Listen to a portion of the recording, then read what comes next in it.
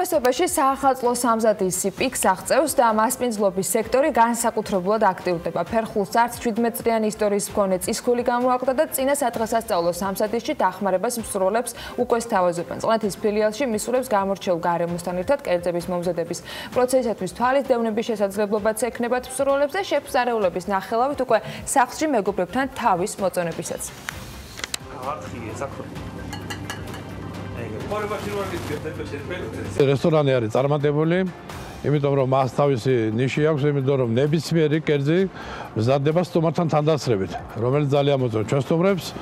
და წელს შევემუშავეთ ახალი კერძი, რომელიც მოვამზადეთ თონეში, ეს არის დაფილავებული გოჭი, ანუ ძვალგამოცლილი გოჭი, რომელიც იწובה წალამზე.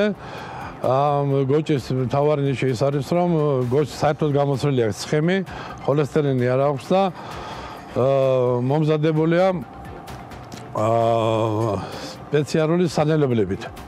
ნებისმიერი სტუმარი, რომელიც ჩვენი გოჭის დაგემოვნებას მოინდომებს, შეუძლია საათიდან საათის ნახევრის განმავლობაში მიიღოს ნებისმიერ დანიშნულების ადგილზე ჩვენი მომსახურებით.